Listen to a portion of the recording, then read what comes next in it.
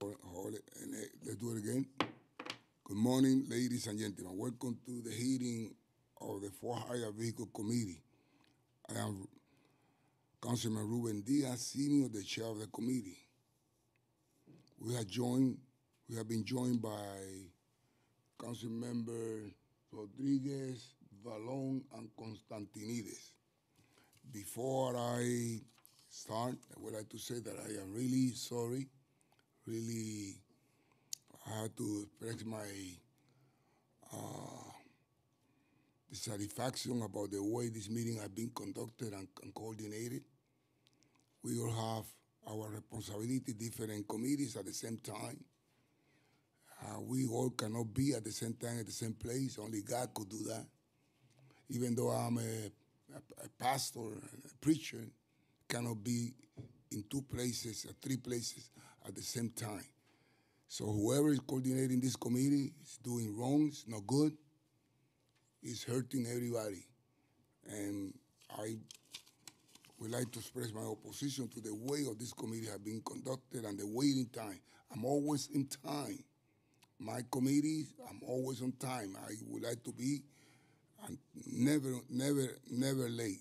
So uh, today is almost 11:30, and we have other committees that we have missed. Saying that, today we will be voting on two pieces of legislation that will continue to expand the work that this committee has done over the past year to improve the for-hire vehicle industry.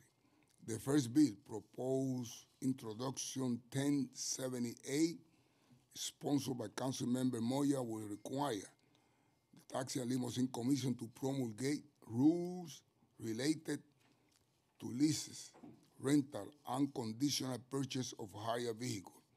This will help increase transparency on these types of transactions and improve the economic well-being of drivers in the industry.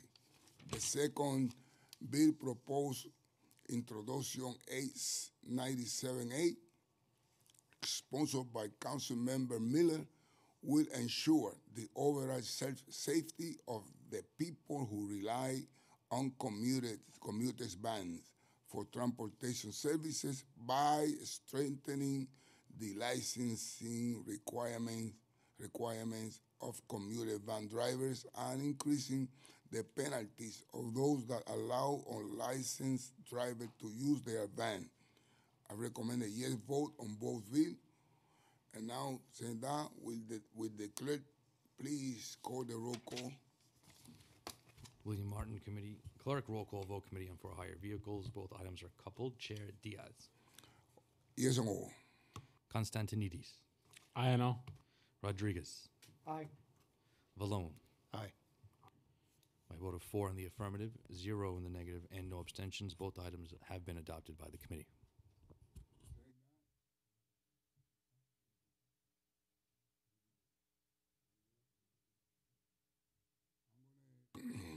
I'm going to leave the the, the hearing open for those members of the committee that are, that will be late to be able to vote. So, thank you.